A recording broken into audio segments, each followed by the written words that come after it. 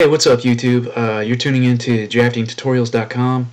Uh, my name is Casey Kepley and in today's video we're going to cover the uh, explode command.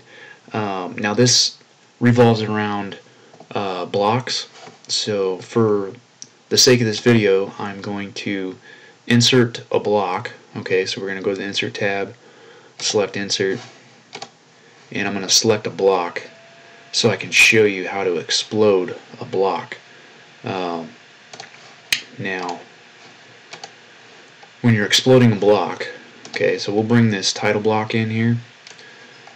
Uh, a block is basically multiple objects tied together into one, like one drawing. So you'll notice when I highlight over the block, everything is is highlighted together. So, um, you know, if I were to move this, it's going to move the whole thing.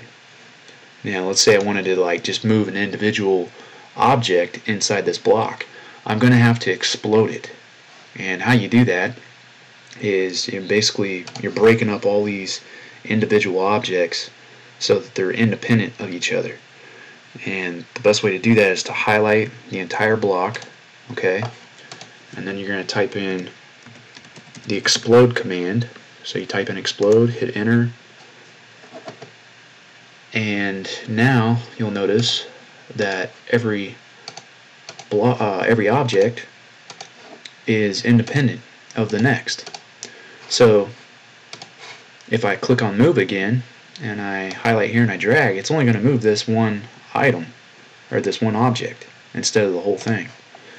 And that's how you explode a block. Now if I wanted to to make sure that all this uh, goes back into um, a block again. You can either recreate it as a block, you know, it's using the W block command, or uh, you can join it. And I'm not going to use the join command here because it would take, it'd probably take too long. I mean, we could give it a shot here. So you would highlight it and you'd just type in join. There's 21 objects discarded. if you look up here, it says 54 objects converted to 7 polylines. Okay, so it tied these back in together, and it tied in all those, but it uh, discarded 21 objects from the operation.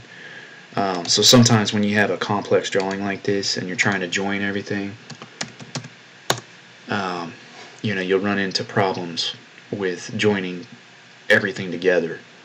Um, you could probably join everything if you went one by one individually and selected all these um, and then just joined them you know kind of in a sequential order but that's going to take too long. You're better off if you just re um, recreate this as a block again.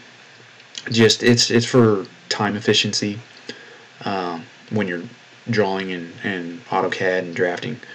Uh, but for the sake of this video um, I just wanted to show you the explode command and how that uh, functions. Okay, if you haven't subscribed to the channel, uh, go ahead and do so. You can also share and like this video if you if you found the information beneficial.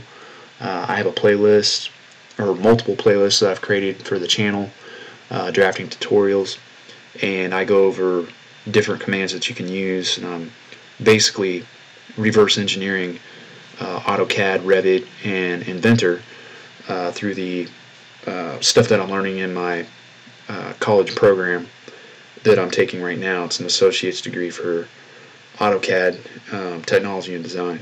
So that's all I have for today. Um, thanks for tuning in, and I will see you guys later.